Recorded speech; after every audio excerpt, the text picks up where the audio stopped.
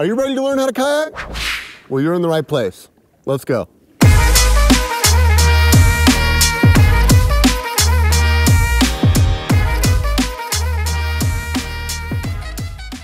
Well, first of all, I want to welcome you. I'm excited you guys are here and you want to take your paddling to the next level. That's my goal today is to help you accelerate your learning curve, avoid some of those beginner mistakes, and get you on the right track.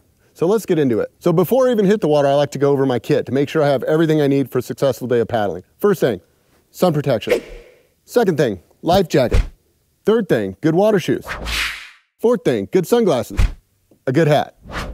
And of course, a paddle and a kayak. Okay, so you have everything you need. Now it's time to get in and out of the kayak. This can be the trickiest and most daunting thing for a lot of new paddlers. There's a couple different ways to do it, and it's also different whether you're using a sit inside versus a sit on top.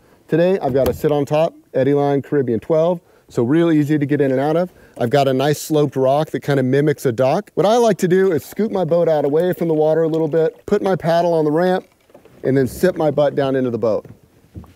Now I can just swing my feet over, and I'm ready to go. So getting into a sit inside can be a little more tricky because you have to get your legs down inside. Here we have the Eddyline Sandpiper, which does have a huge open cockpit, so fairly easy to get in and out of.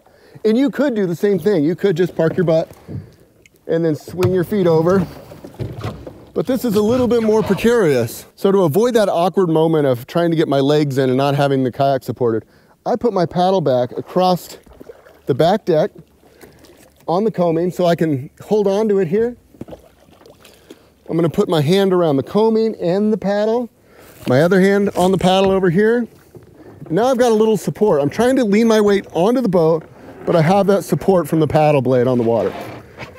Now I can get my feet in, get situated, and I'm ready to go paddling. Okay, now we're in our kayaks, but I don't want you guys out there looking like total newbies. So here's the deal. We wanna make sure you're adjusted right in your boat. You have foot pedals, they're super important. This is where how you drive power from your body into your feet. So you wanna make sure that they're dialed in. I see a lot of this and there's no power here, there's no support for your lower back here. So you wanna have a nice bend in your knee, but still be able to push and straighten your legs out as you rotate and paddle. The next thing is back support, making sure that you have good back support so you can sit nice and upright. I think of my pelvis as like rotated forward, so I'm up on my sit bones instead of my tailbone. If I'm on my tailbone, I'm kind of back here. The kayak feels real tippy. My weight is shifted back from the widest point of the kayak, and it's just awkward. It's also going to make me use my arms as opposed to engaging my core. So the best way to engage our core is to have that seat nice and upright, rotate our pelvis forward so we're in an upright, active paddling position. Now we're free to rotate and really get the power to our paddles. Speaking of paddles, holding your paddle correctly is a super important part of paddling. So you want to have just about a 90 degree bend in your elbows when you hold that paddle, I call this a paddler's box. You want to kind of a box between your chest, your paddle, and your arms. This is a great way to transfer power from your body to the blade. You see I use an offset on my paddles. That's not a must. Most people don't start off that way. I've just been paddling a long time and that's where I find I like it. But you can also start off with a zero degree feather. That part doesn't matter. The part that matters is that your hand, whatever hand you are, if you're right-handed or left-handed, that your knuckles are lined up with the top of the blades so the blade is straight out in front of you. It's also important to know that you have a power face of your blade, the side that's facing you, and a back face, the back side of the paddle. And really your orientation to the paddle never needs to change. I see people flip their paddle around to go backwards or to stop.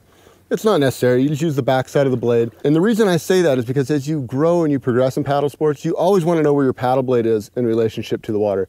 And if you get in the habit of spinning it around, it's only a matter of time before it's wrong and it dives underneath your boat and you trip over your paddle and go for a swim. So holding your paddle in your hand, nice upright position, paddler's box engaged, now ready to take some strokes. So we're gonna start you guys with the most important stroke that you can learn. This is what you're gonna be doing 90% of the time to drive your kayak forward, and it's called a forward stroke.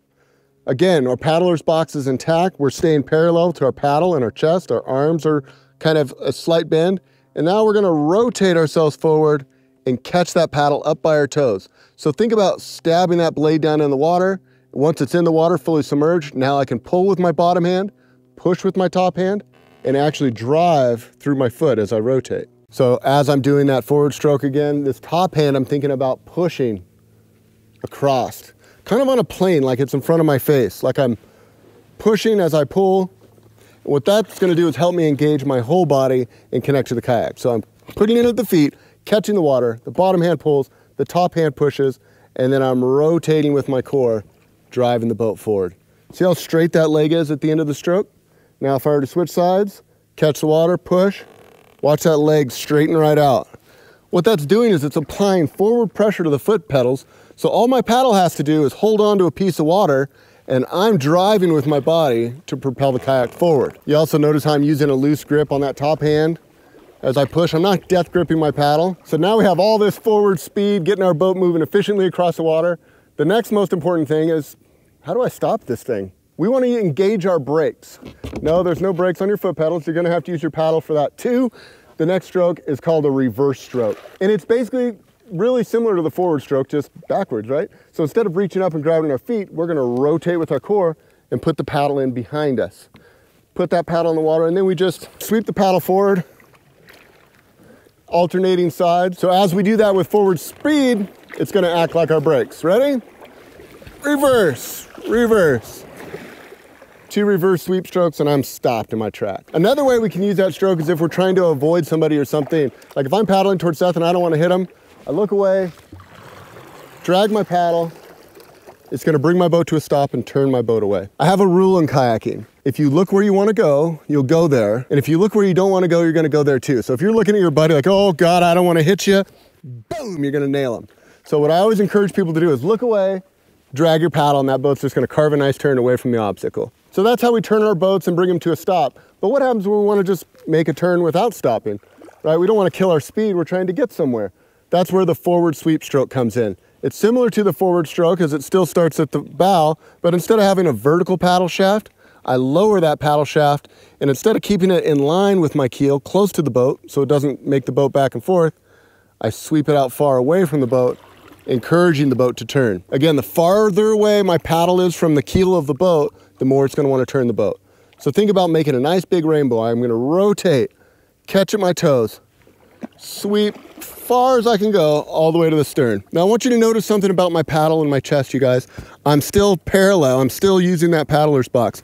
I'm not just using my arms, I'm using my whole core. I'm gonna do one more, I'm gonna do it on my right side.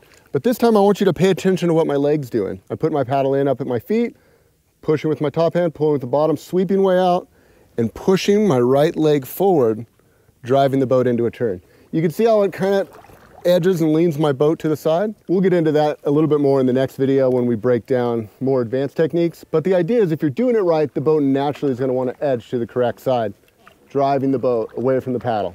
Okay, next I wanna link up a couple of those strokes. We're gonna link up forward sweeps with reverse sweeps, and I'm gonna show you how you can just spin your kayak in a 360 in one spot. So again, forward sweep, putting up the bow, doing a nice torso rotation, reverse sweep, putting in at the stern, sweeping towards my feet,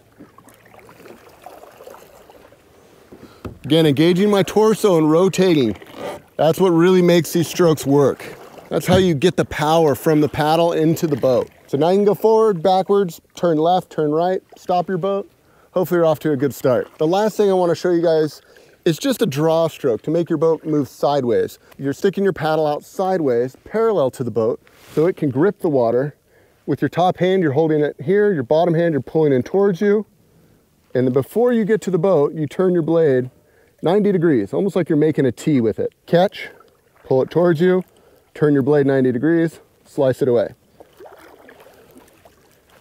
You can see how I can just pull myself sideways this way.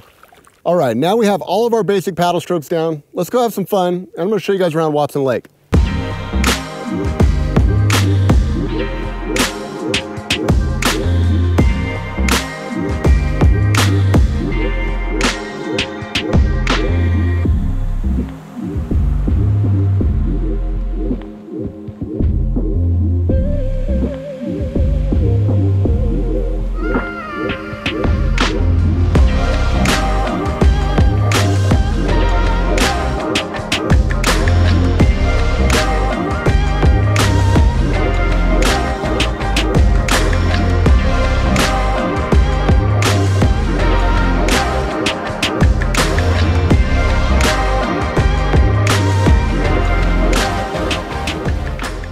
So after a great day paddling, the last thing you want to do is fall in the water getting out. So we're going to get out and we're basically going to do the same thing as when we got in, just in reverse. Swing our legs to the side, use our paddle here for support, and push ourselves off the boat. So in this part, it's really important to keep your weight forward. I see a lot of people that go to get out, and when they lean over here, they fall out or their boat starts creeping away.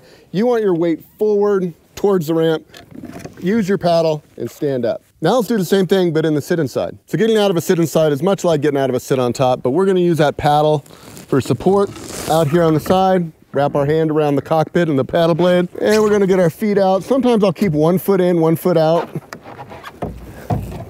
and then pull myself forward. Now it's important to note there's no right or wrong way to do that. Anytime you're getting into your kayak or out of your kayak and you stay dry, I think it's good. But those are a few little pieces that I've found to work for a lot of different folks over the years. So thanks so much for hanging out with us, you guys. I hope you learned something today. If nothing else, I hope you found it entertaining. Until next time, this is Dan wishing you happy paddling.